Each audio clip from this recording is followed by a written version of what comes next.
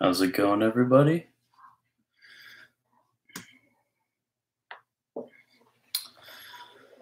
Let me know if you can hear me fine. I don't think my mic is in action. Let me just. I'm late. Correct.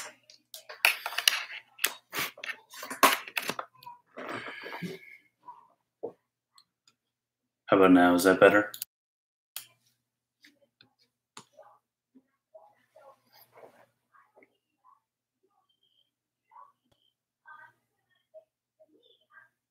Okay, good. So, tonight we're going to talk about the topic of evolution, um, the Catholic faith, and then what St. Thomas would say about it. So, as a bit of context, um,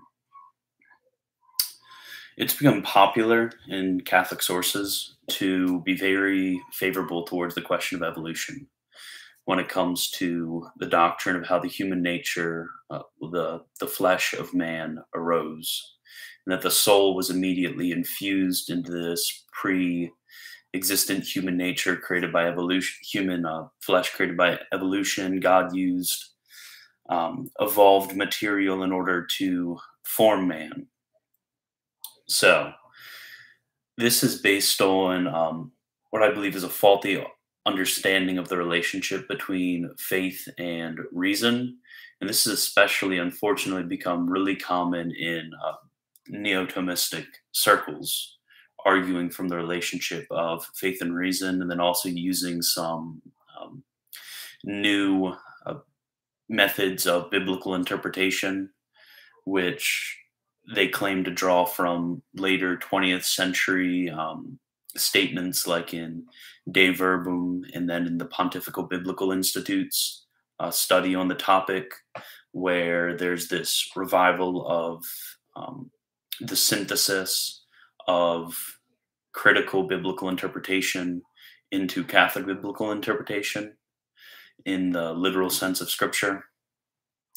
So you'll get from the for example, the American Catholic Catechism in the USCCB, they'll call this interpretation that I'm going to put forward, which is the non evolutionist interpretation.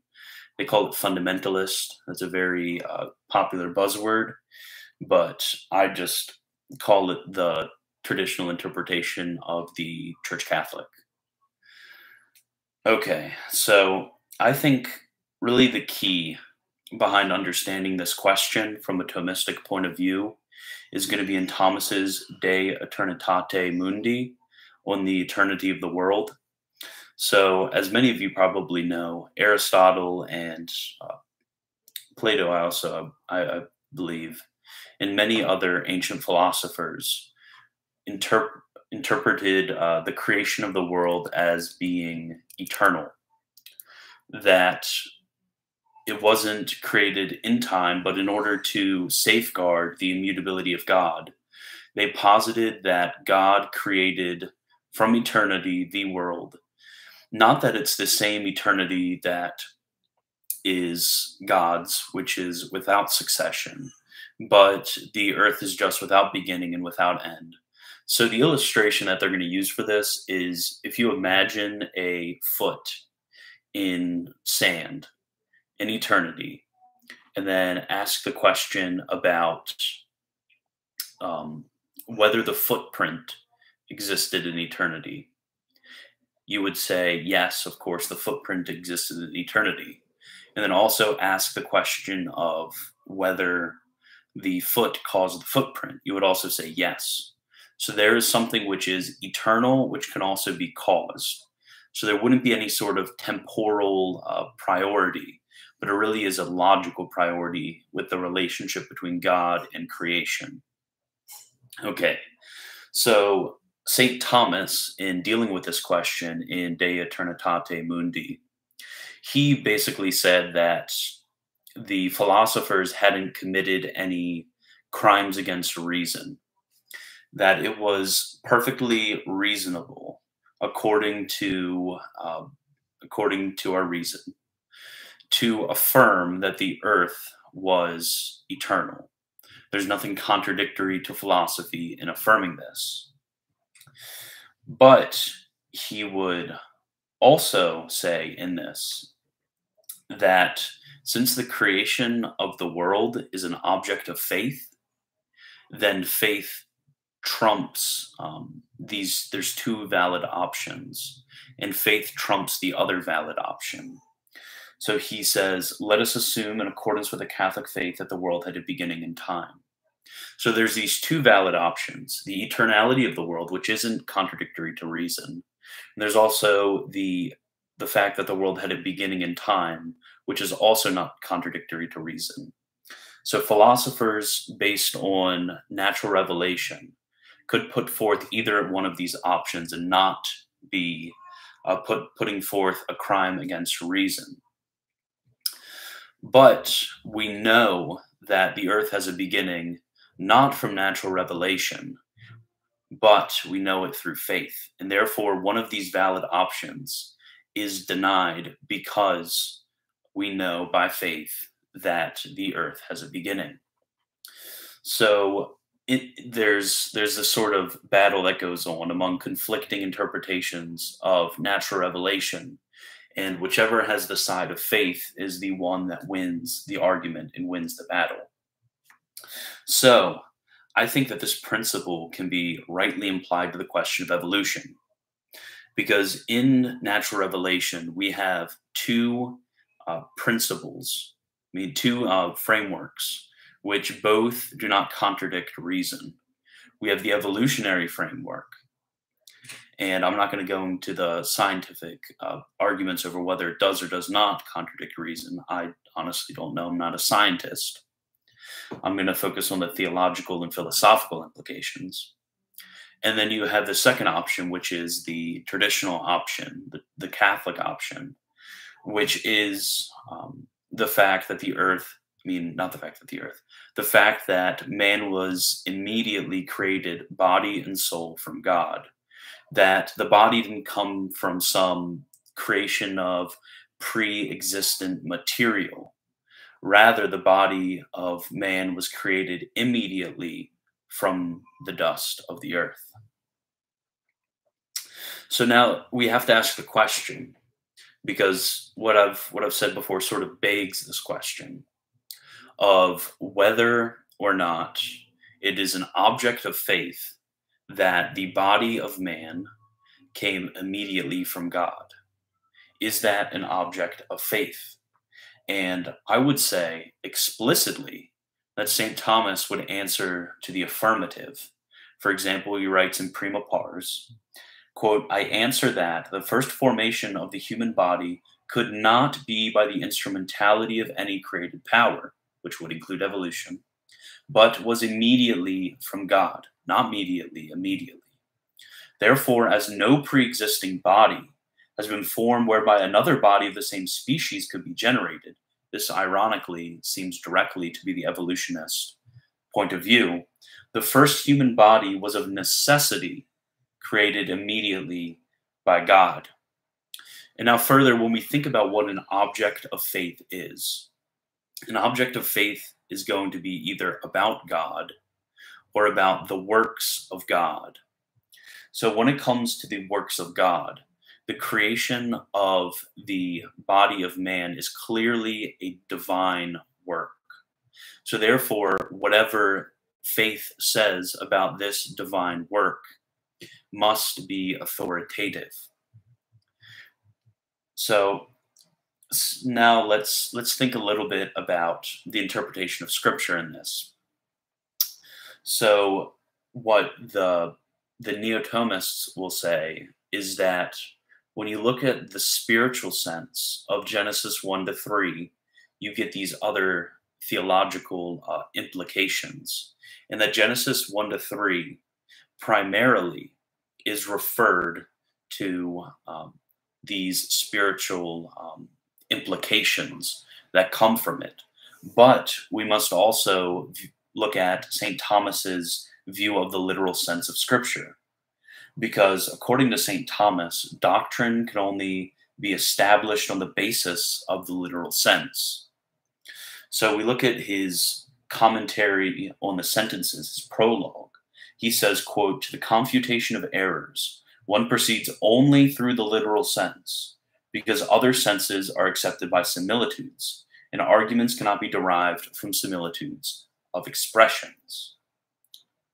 So the response that you're going to get from these neo-Thomists and these other um, evolutionists among Catholics is going to be that there's an assumption being made that the literal sense is an immediate creation of the body of man. They would say that the literal sense, if we're going to go in accordance to the literary form as affirmed in Dei Verbum and then in the Pontifical Biblical Institution, Institute's um, words on the matter, then the literary form is very important. And they would say that this is not a historical document, Genesis 1 through 11.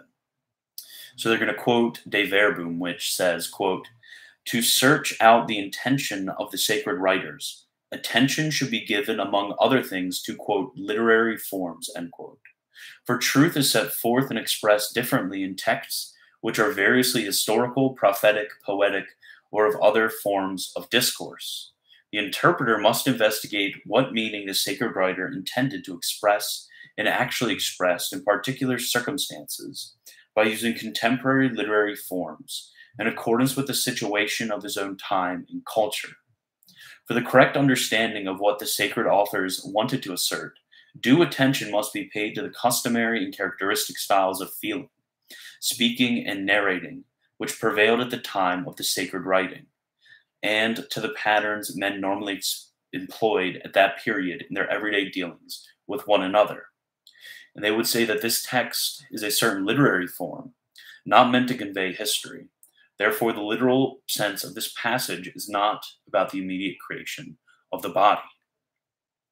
So now, if we look at at least the um, the consensus of Catholic interpreters in the history of the church, this goes complete to make this deduction goes completely against how they would have interpreted the literal sense of Genesis 1 through 11. And also, if you look at the magisterial documents, when it comes to what the literal sense of Genesis 1 through 11 is, then you see that it is certainly conveying history. So Pope St. Pius the 12th, actually I think it's just Pope Pius the 12th, regards the literary form of this passage to be historical as he writes in his encyclical Humani Generis.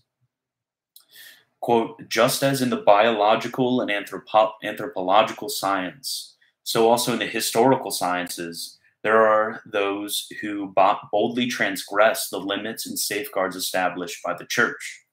In a particular way, must be deplored a certain too free interpretation of the historical books of the Old Testament. So he's dealing with this right now. The first 11 chapters of Genesis do nevertheless pertain to history in a true sense. If, however, the ancient sacred writers have taken anything from popular narrations, and this may be conceded, it must never be forgotten that they did so with the help of divine inspiration, through which they were rendered immune from any error in selecting and evaluating those documents. Therefore, whatever of the popular narr narrations have been inserted into sacred scripture must in no way be considered on a par with myths or other such things, which are more the product of extravagant imagination than of that striving for truth and simplicity which is in the sacred books, also of the Old Testament, is so apparent that our ancient sacred writers must be admitted to be clearly superior to the ancient profane writers in history. So, if we're going to take that statement from Pope Pius XII, we're going to recognize that Genesis 1 through 11, in the statements of the works of God, is giving us a historical narrative. Now, I'll admit that in the spiritual sense, especially in the allegorical sense, writers throughout history, especially if you look at Origen, if you look at St. Augustine, if you look at even the writings of St. Thomas Aquinas, there has been much gathered aside from as an application of the literal sense into other matters. But we cannot throw away the fact that Genesis 1 through 3 is describing the literal procession of the literal creation of the the flesh and soul of man immediately from God. That is what must be affirmed in in a Catholic biblical interpretation. And then in a Catholic sense of the relationship between faith and reason, we must deny evolution. So this brings us into a philosophical question about what we can know by science. I think this is honestly the most important part of what I'm going to say is about the philosophy of science. So science reasons from certain effects to causes. As Aristotle teaches, it is from sense experience to the causes of things. That's what science is. It's trying to look at the order and cause, causes of things. Now, it is my contention that the object under consideration, that is, the creation of the flesh of man, cannot ordinarily proceed this way. For there are two options. First, the human body was created immediately by God, the Catholic option and the option which falls under the literal sense of Scripture. Second, the human body arose out of certain evolutionary processes guided by God, which is the position of the theistic evolutionists. So science would not be able to reason from cause to effect in this matter because it could not sense a supernatural intervention but seeks out natural explanations. So if we're going to presuppose that the creation of man immediately by God is a supernatural event, why would we expect scientists contemplating natural revelation to be able to sense this miracle and provide that as an explanation? Of course, they're going to seek natural explanations like evolutionary theory. For example, if science had the certain data that there was a sick man who was sick and became well, having tests from before, during, and after the sickness, the scientists would determine from this that the man was healed according to the natural mode in which a body recovers. That's what the scientific method would propose. Let's imagine now that this man was miraculously healed directly by God. The scientist investigating the man would not be able to discern, uh, discern that this was the mode of healing. The data from the man would look identical whether he was healed after the natural mode or after a miraculous mode. It is the same with the process of creation. The data from an evolutionarily derived body and an immediately derived body looks the same. It is only by the eyes of faith that we can tell the difference. Therefore, there is no reason to prefer the former over the latter. Okay, that's all I really have to say on, on, this matter. I think the philosophy of science and understanding a true relationship between faith and reason is really important here because science really would not be able to tell which option is true. One derived from the scriptural account or one derived from the natural reasoning from effects to cause. The data would look the exact same in both of them. So I don't know why we would concede the traditional doctrine of the church when it comes to the creation of the body of man and then take upon the the scientific um, consensus of evolution so are there any questions i'm going to look in the chat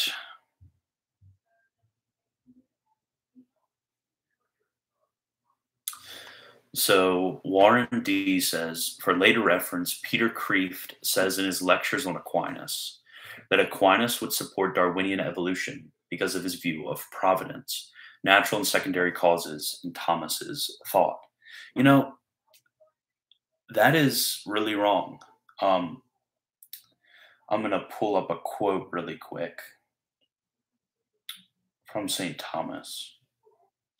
St. Thomas um, actually would have considered an option where um, under providence and under natural and secondary causes he considered this option through the instrumentality of the angels and through the instrumentality of the heavenly bodies because there were theories at this time of this mode of creation that a god that god kind of set the ball of creation rolling and then used these uh, means and instruments to create man. But he explicitly denies that this is the case, very explicitly. And he reasons that this cannot be the case because, again, creation is a divine event, not something which can be through the instruments of second causes. So it's really interesting that he would say that. Peter Kreeft is a much clearer thinker than that because Thomas really directly deals with this sort of idea in a in a more primitive and ancient form and not exactly in the context we're speaking, but nevertheless it still does apply.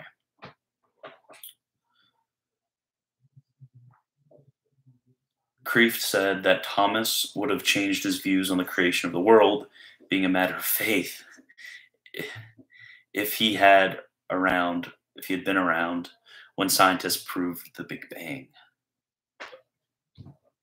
I don't even know what to say to that. That is, um, that's kind of silly to say that he would have changed his view of the creation of the world being an object of faith. Do you think our angelic doctor is, is of so little, um, so little faith that he would abandon uh, that he would abandon um, that the creation of the world is an object of faith. Come on, the, the dude loved the the dude, the the saint loved Aristotle, and he could have accepted the view of the eternality of the world.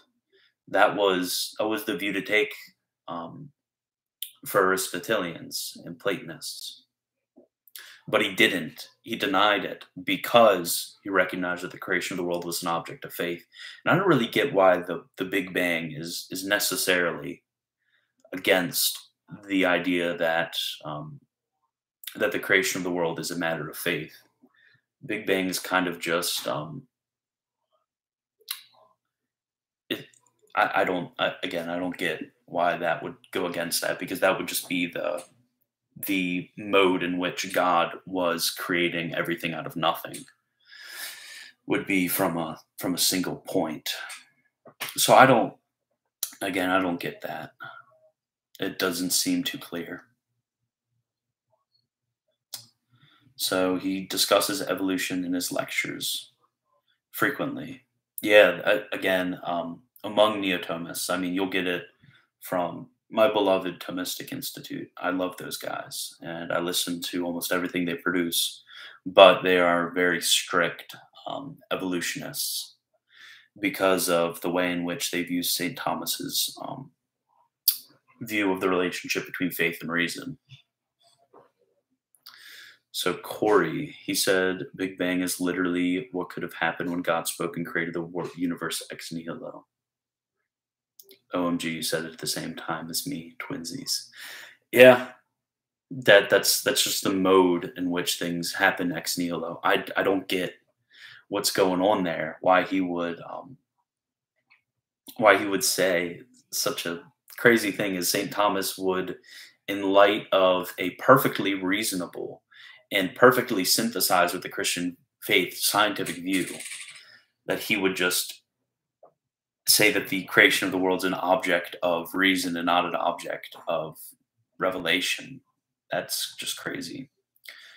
Luther even denied that the Big Bang was about creation. He thought of it as an icon of creation, but not creation itself. I think that's a good way of thinking about it. It's an icon of of creation.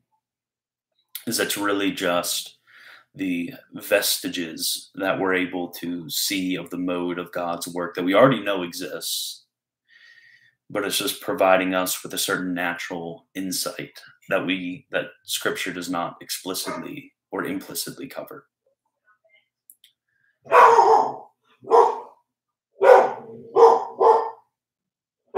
No, Kreeft doesn't. Stupid dogs. I hate dogs. They're the worst.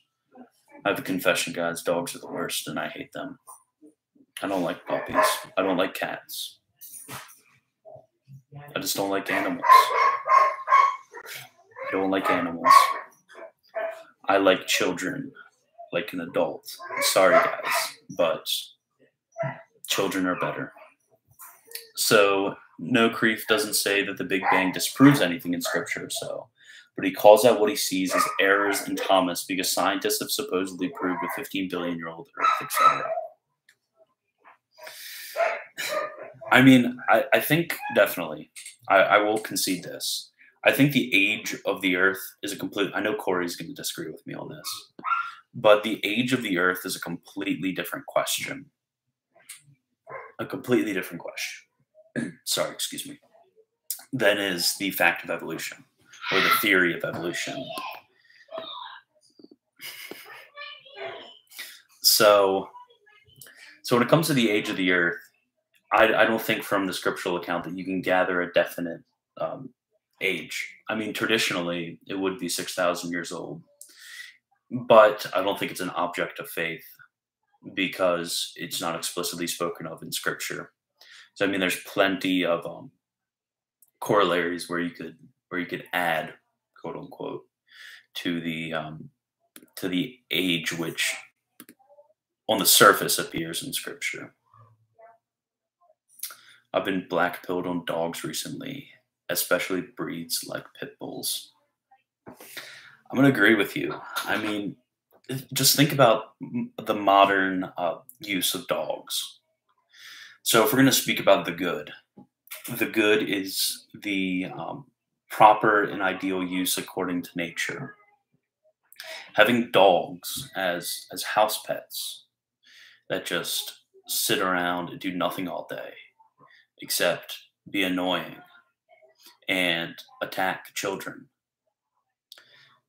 That's just not according to the proper use of a dog. A dog should be herding animals or hunting or uh, protecting or, or stuff like that, not just sitting around like the modern American house pet would. It's just a complete abuse of the nature of dog.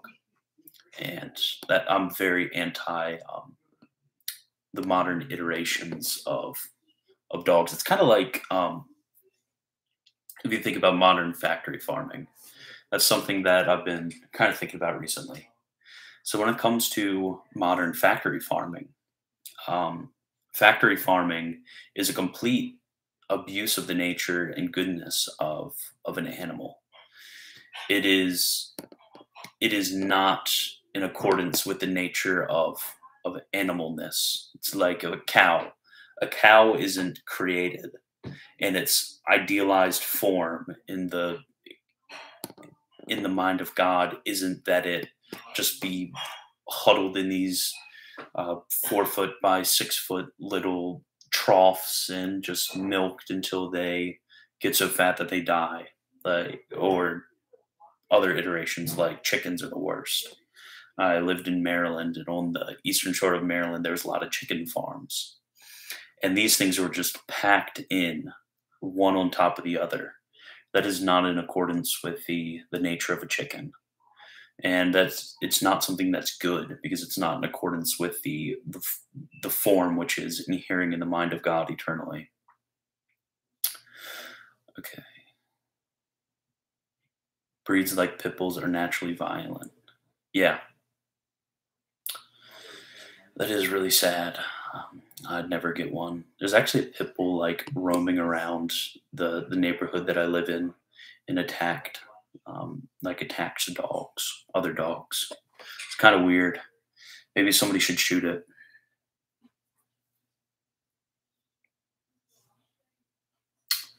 Okay, any other questions? It can be about anything. It doesn't have to be about the relationship between reason and faith or evolution.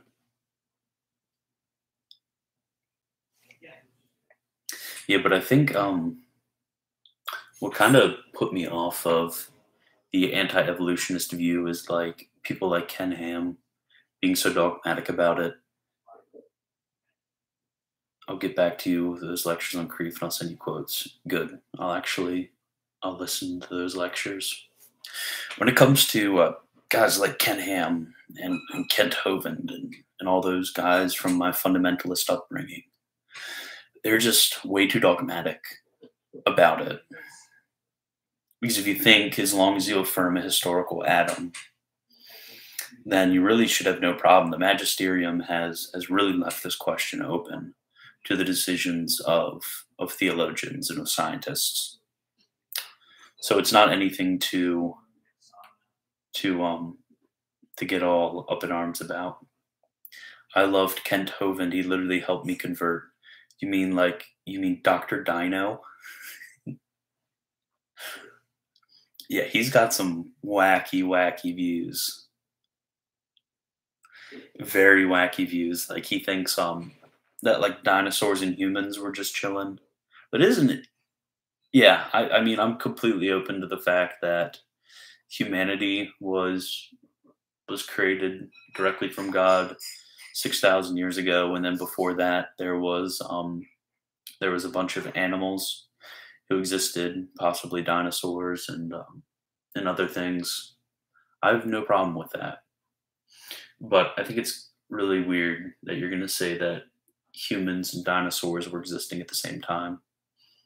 I do think that's really weird. Generally okay with guys as long as you have a historical Adam. Yeah, I think because when you look at necessary articles of the faith, in order for an article to not to, to be necessary, it has to in some way uh, contradict fundamental articles of the faith. So historical Adam is a fundamental article of the faith. I mean, read through uh, Paul's epistles, especially um, 1 Corinthians 15 and then um, and then Romans 5. You get the importance of the uh, of the historical Adam right there. That and it has been explicitly contradicted by the magisterium that there was multiple groups of people that existed. So I don't really get what honestly I don't really get what the the evolutionists were were trying to get at. Because it's like what do you think that human nature evolved? Um, I mean the human flesh the human body evolved and then God infused a soul into it and then there's just one of them. Well, I guess just two of them, Adam and Eve. How do you think they had children back then? You think everybody just had two children and they married? Is that what you think happened? Because it's because either one, where the heck did these other non-souled human body creatures go? Did God just nuke them all? And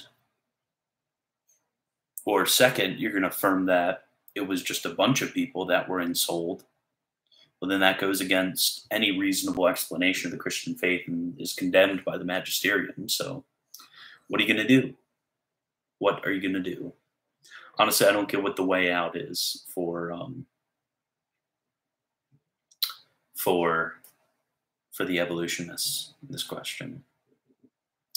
How would evolution affect Mariology? Example, would the evolved Adam and Eve be immaculately conceived from other some other species rather than created from the dust? Yeah, so um, with the theistic evolutionists, what they're going to say is that you have this, so you have like the normal evolutionist um, propaganda, I'm joking, not propaganda, um, account you're going to have from the uh, I, I don't know, the emergence of a single celled organism hand, handled by the providence of God.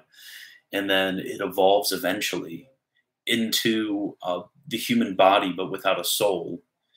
So if it doesn't have a, a human soul, then it's it can't sin. And then directly is infused into two of these people. Well, not people yet, but directly infused into two of these its, these primordial humans but without souls are human souls, and then these are Adam and Eve. But uh, again, what what the heck happened to all the other unensouled people? So really, you wouldn't have a problem with sin in this in this framework because the unsouled humans wouldn't have any souls, therefore they wouldn't be sinning because they don't have really a human intellect appetites, or will, so they couldn't sin. So Max Kolbe said that the message of Lourdes rules out Adam and Eve being conceived like the rest of us. What? Could you could you explain that more? Adam and Eve being conceived like the rest of us?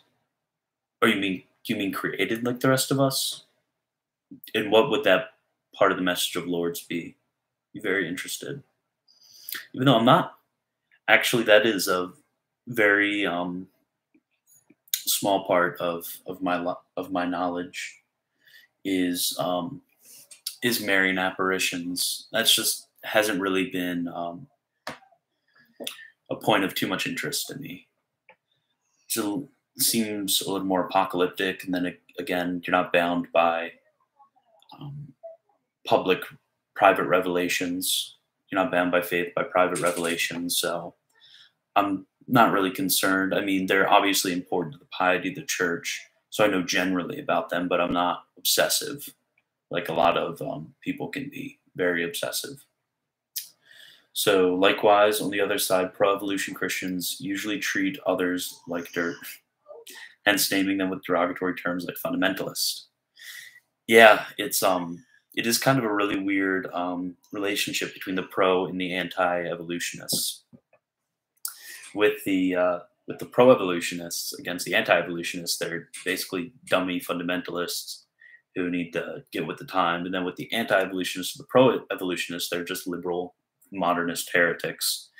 And um, and I think at least from people around my age and then around our generation of, of people interested in theology, there's a lot more um, reason to this to this debate that we're not a bunch of backcountry fundamentalist idiots, and that the other side of this debate aren't a bunch of modernist liberal heretics. We're just both trying to be faithful to God's revelation, either in nature or in scripture.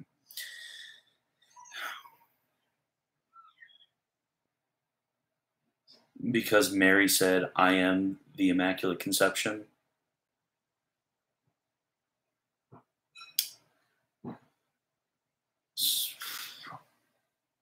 I don't get what how that would have to do with uh,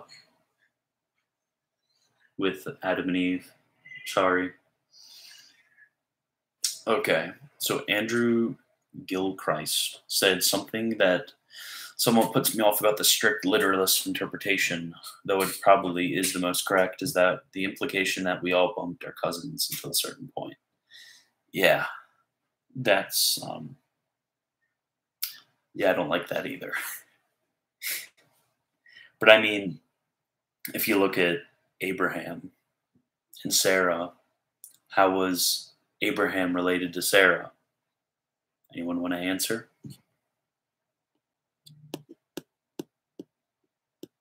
You got it. Half sister.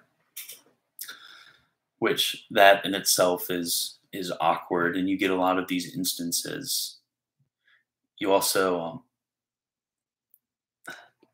you also get a lot of examples of, of cousins, second and third cousins, and, and stuff like that. Would that wouldn't be acceptable in our modern context, but it is um, possible that that was the practice of the time, and that wasn't seen as being weird until our current point. Obviously, when we have laws of um,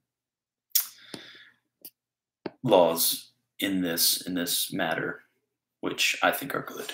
I think they're very good.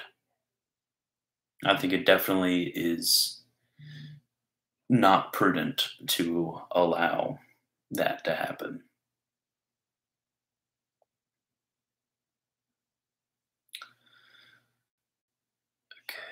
So Warren said, I think his point is given macroevolution, they were immaculately conceived because they had no sin before the fall. But how would that have to do with Adam and Eve? I'm still not getting that because Mary said that I am the Immaculate Conception. Oh, oh, I get what you're saying now. Because Mary is the Immaculate Conception, nobody else could be immaculately conceived besides her. I get it. I get it now. Okay, any other questions?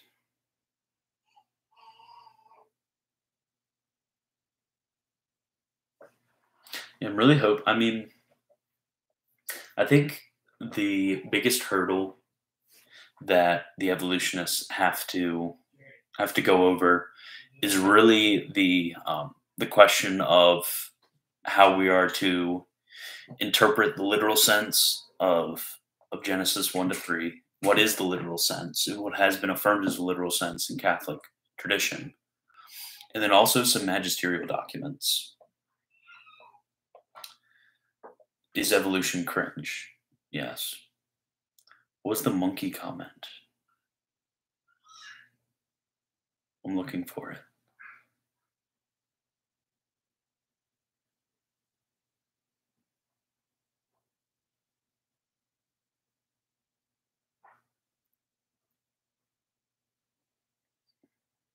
Dinosaur Adventureland. I'm sorry, Corey, but I honestly I want to go one that one time to there because I think that would be interesting.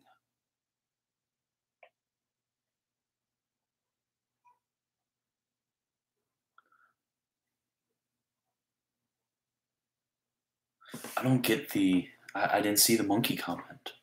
I'm on live chat too, not top chat. Okay, so I saw a video where Father Rippinger, Rip, Ripperger said the evidence is pretty scarce.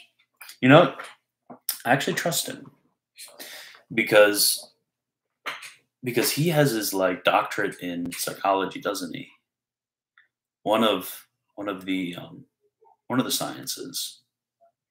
So I mean, he knows the the method of I, honestly. When it comes to academia, um, there's a certain habit of research and then evaluation of evidence that is built up in some programs. So, like when you have somebody who, like him, has a PhD in that, I don't think his PhD is in psychology. I wonder what it is in. I thought he had something to do with psychology, but either way, when you have certain uh, research experience like that, even in adjacent field, I'm going to trust him in that. I said the key reason we should reject evolution is that our Lord and the Blessed Virgin Mary are descended from monkeys. No thanks. Yeah, that'd be pretty cringe if we were to say that our Blessed Lady and our Lord are descended from monkeys. Yeah, I don't because like again, like again, I know I've belabored this point, but what exactly is the point of the evolutionists' view? Like you have all these non-ensouled humans, and then all of a sudden two of them are just given souls. Like what is what happens to all the other ones? Because obviously they still have to look like us, and they still have to have the general uh, human nature minus a soul as we do. Like, where the heck do they go? Are they Neanderthals or something? Like, what what is the answer that they get? Do any of you know? Because I have no idea what like where they would go from there. It doesn't make any sense. So this is PhD in philosophy, yeah. Like that's why um, I kind of feel comfortable. Well, they have souls, but not rational souls. Yeah, that's what I meant. They ha- they would have um, animal souls. Yeah, souls in the way that the plants and animals do. Yes, because animals do have souls, contrary to popular belief. That's at some point God decided to put souls into monkeys or something. Yeah. Like now that I think about it, like more and more, it just it it it should be evident to any reasonable man that this didn't happen. Like what, what they're trying to do. Granted, I'm going to make sure I have a heaping of charity on this. But what they're trying to do is they're trying to take a very popular um, view in the uh, biological sciences and they're trying to synthesize that with the fact that we have to have a historical Adam And you can't. Like you you you cannot synthesize a historical Adam with evolutionary beliefs. I mean, it's great that you affirm a historical Adam, but it doesn't make sense on the premises that you've put forward about the about the creation of the historical Adam's body. Like maybe like all of the the unensouled human monkeys all of their uh, all of them died off except two or something like that. I don't know. Do you know anything about old Earth theory? Yeah, I, I kind of did talk about it a little bit earlier, but I can talk about it more.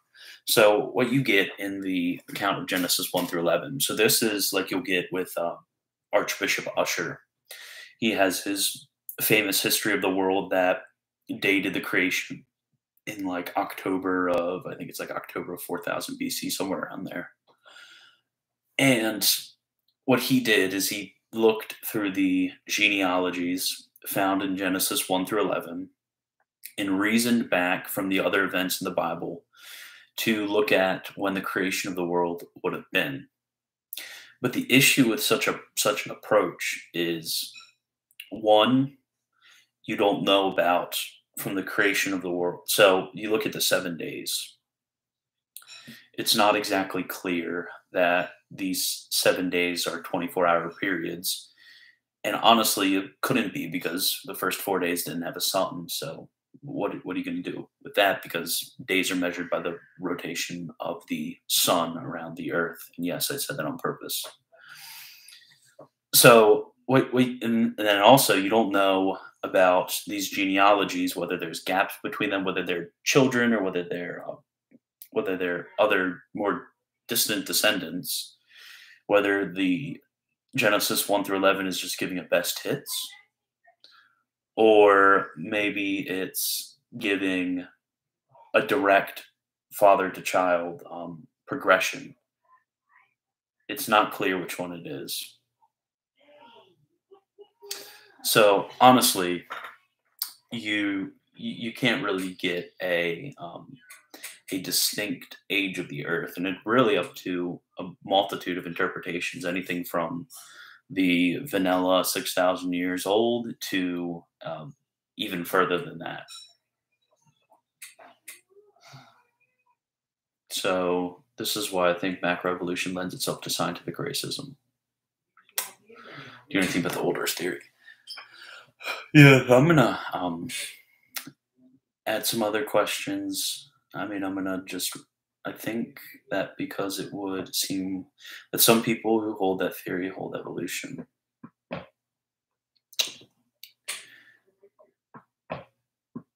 Yes, but I think they're completely distinct um, issues because the direct procession of of the body of man from the hand of God immediately was an object is an object of faith whereas the specific age of the earth, not an object of faith.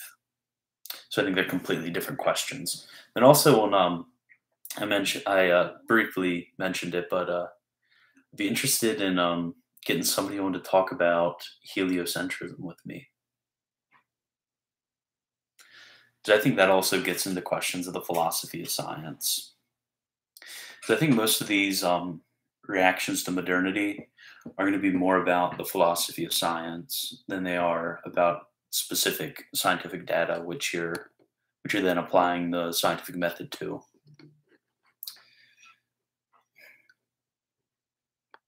Any other questions?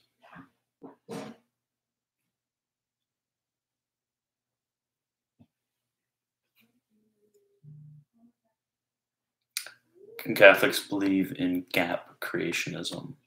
So there's uh, gaps between the days. I'm just trying to clarify. That's what you mean.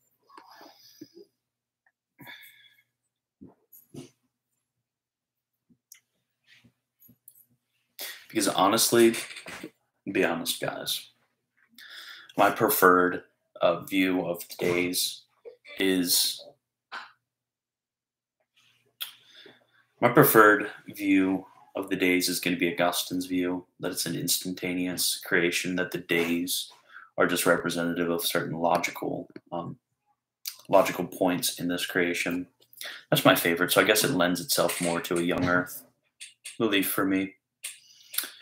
What are some pieces of evidence that evolutionists give? Besides animals look alike, so they must have evolved from each other.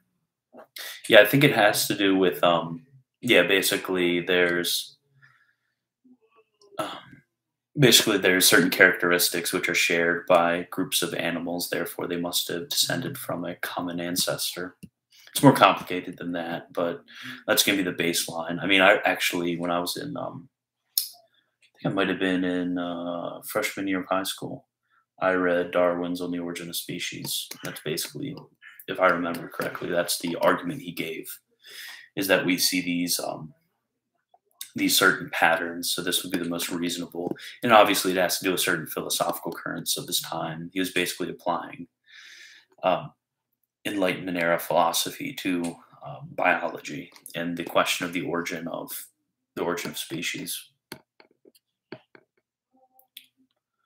Days are literal, but the two creation narratives happen at different times. It's possible. It's possible. But it would have a problem then. Uh, there would be a problem with the sixth day. And well, at least with my view, there'd be a problem with the sixth day being the creation of man, yet it's all instantaneous. Because then there's no there's no gap from the creation of the world to to man. But I mean that's that's a problem with me either way. But I mean, I guess an evolutionist could argue. Nah, they couldn't argue. Never mind. They can't argue on the basis of that. Because they can't really argue on the basis of the different narratives because they would have to say that the sixth day was some um, weird human that doesn't have a soul thing.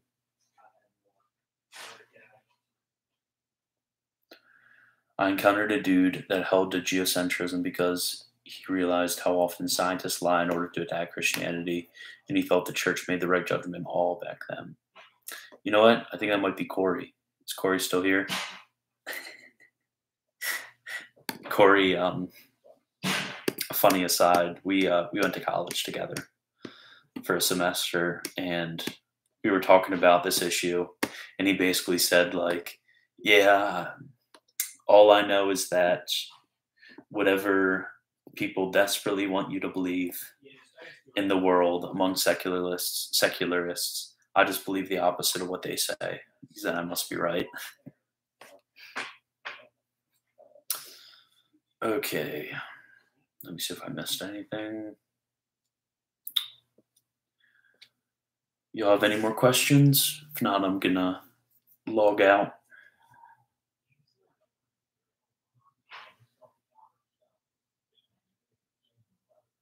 And create a poll. Wait a second.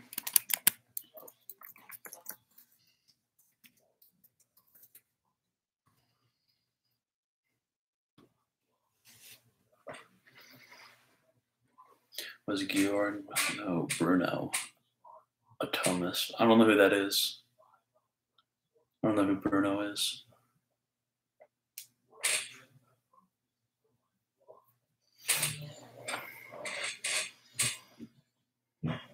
But an interesting uh, consider geocentric. We trust the science?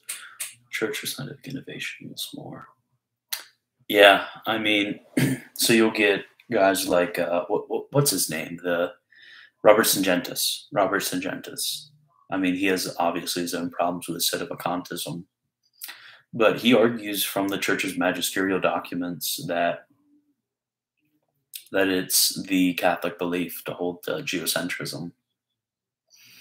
And it seems to be the plainer um, account of Scripture, but again, that could be a literary form. That that is a proper uh, application of the idea of literary form because like for example we talk about the sun rising we don't talk about the sun like over the horizon just shooting up and then going around us and shooting down. That's not what we're talking about. We talk about the sun rising it's just an idiomatic expression. So ancient hebrews could use a similar idiomatic expression when it comes to the, the spatial relationship between the sun and the earth but honestly i think scientifically at least it's a moot point to argue about this because motion in relative to a point in space. Um, it just depends on the perspective of that point in space. What is moving around what? So you could really say anything is the center of the universe and doesn't move. You could say you are the center of the universe if you really want to, and that everything by the perspective of you moves around. That'd be an interesting theory. Geocentrists would argue that the scientific innovations give further credit to geocentrism. I looked up Bruno, Dominican friar in the late 1500s, tried for de- denying the Trinity, divinity of Jesus, and real presence.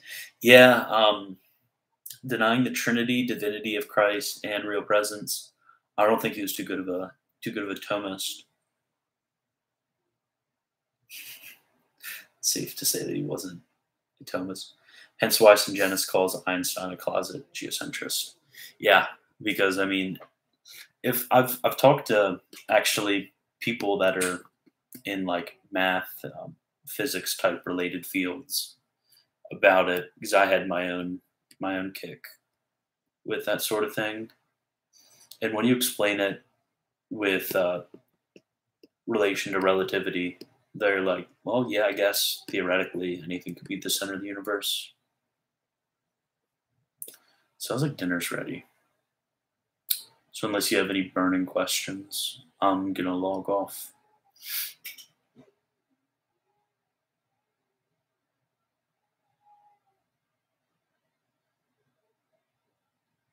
Infinite universe.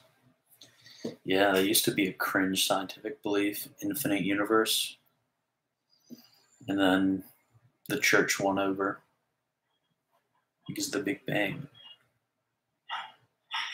Yeah, what idiot is going to say that space is infinite? It's so dumb. like, what? Obviously, a body can't be extended to infinity. Lutherans. Bruno did. He said that bodies were extended to infinity. I swear, some people, you know, most like Thomism is called a philosophy of common sense. Some people just need common sense. Wikipedia says Bruno was a free thinker and accepted Copernicus's theories. Well, if we know anything from church history, free thinkers burn well.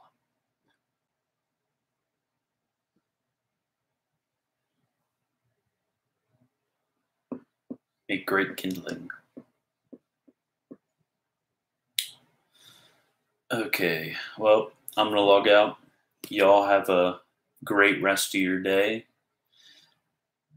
And um, make sure you remember to follow me everywhere Facebook, Twitter, you know the deal. And then also, if you really love what I'm doing and would like me to keep doing what I do and to do more of what I do, then become a patron. And I will forever love you. Okay. Goodbye.